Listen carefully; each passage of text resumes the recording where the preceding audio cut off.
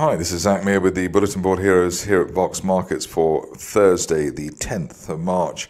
Starting off with Angle, where we're just uh, relieved that uh, after bouncing a couple of times off that um, support line there from uh, May last year and the uh, falling RSI support line there from August, shares in Angle actually went up and uh, they actually headed towards uh, resistance on the way down in the upper 80s. In fact, we I think peaked at 90 earlier today or 89 and a half. Current view is that at least while we're above the uh, neckline resistance there at 79, we could see further progress for the shares, maybe towards 90 to 100, which is uh, uh, would be a, a, an attempt at a meeting with the 50-day moving average falling just above the one pound level at the moment. A bit of a buzz around uh, the next stock, uh, Angus Energy. Uh, investors looking for one and one to equal three, etc., etc. But uh, what's interesting here is a chart where we had that uh, uh, sort of uh, tree shake down to uh, the 0.6 uh, level, which was um, at the end of January. left a gap there, and what we want to see now really is an end of day close above the top of that gap at 0.95, which hopefully we'll get relatively soon. Above that, then looking for 1.3 retesting January resistance. Bullish, I suppose, while we're above uh, the recent swing low around 0.73, but um, ideally we get that uh, 0.95 plus close and the shares move higher. Stock which I haven't covered very much uh, of late, but you can see that um, the shares did deliver with the bear trap gap reversal, gap down there in November and then closing uh, the gap and uh, haven't really looked back since. But we had another gap to the upside unfilled, so that was a double uh, gap signal along with the island reversal, uh, which was uh, completed by that um, gap down we had in September. So charting working on Argos, and uh, here we have the shares attempting to hit the initial target at the top of that broadening triangle from this time last year, as high as 4.2 or 4.3p over the next week or so. If you're a fan of the shares and looking for uh, greater glories, then uh, that could come in the form of a move towards that resistance line there at six and a half from uh, back at uh, back in November. Uh, that trend channel from that uh, month um, heading towards uh, six and a half, maybe by the end of next month, something like that. So looking quite encouraging there on Argos.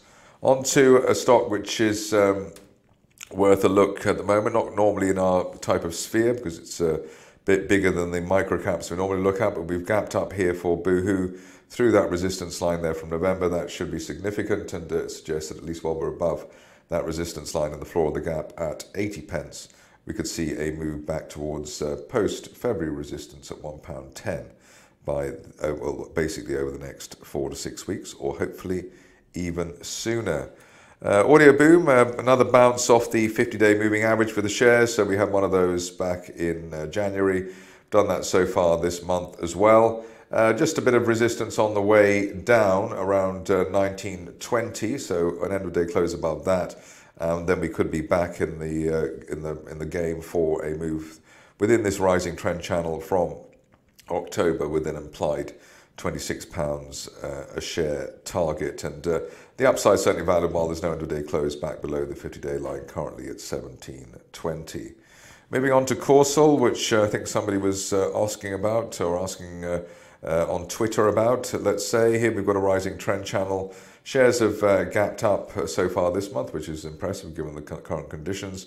Uh, good support here in the 1 to 1.2 pence area and above that, and especially the longer we stay above the rising 50-day moving average, which is a plus point, we could head up to uh, 2.8 or even 3 pence at the top of the one-year trend channel on Corcel.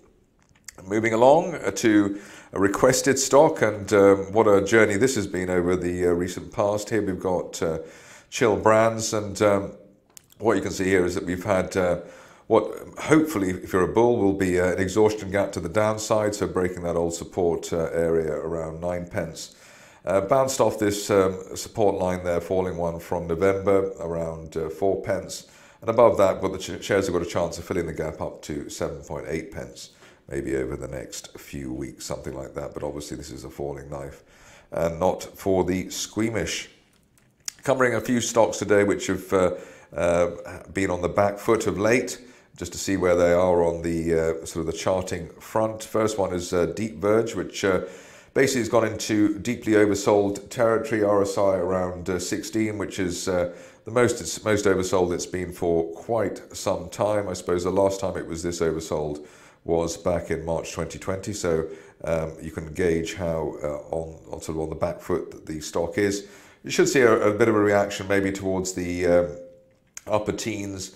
Uh, support in the 17, 18 pence area uh, back uh, in February. Uh, so it would be logical that while there's no fresh low, we could have a little bit of a rebound for DeepVerge back into that area.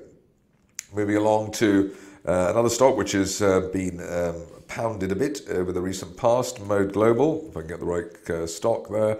Uh, here you can see again another stock which has gone into deeply oversold territory, so the RSI around 20 there for Mode Global at the moment.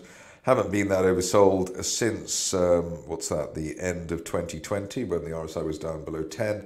Uh, just gives the impression that the shares could head back up towards February resistance and the 50-day moving average around 15 pence, uh, especially if we get a bit of a bounce off this uh, RSI support line, which uh, obviously worked a bit with Angle uh, earlier in this video. On to Open Orphan, uh, where uh, we have had a bit of a bounce here now off a falling support line, finally came through um, around the 11, 12 pence area, also bouncing off that falling RSI support line as well. That gives the impression that we could head back up towards uh, 17 pence, which was the uh, support both in December and uh, January, and also uh, is the area of the 50 day moving average just above it. So let's see how we go there. Another stock which bounced in yesterday's rally was uh, Powerhouse Energy. And uh, here we've got a situation where it looks as though we're sort of, um, well, we found a double bottom there with the old August support around 2.7 pence Bit of resistance now around three and a half, so an end, end of day close around three and a half now required to give the shares a chance of heading towards the uh, February resistance around four pence, maybe by the end of this month, something like that. We have broken that uh, RSI resistance line, so that does give us a bit of encouragement uh, that the shares could stage a bit of a rebound.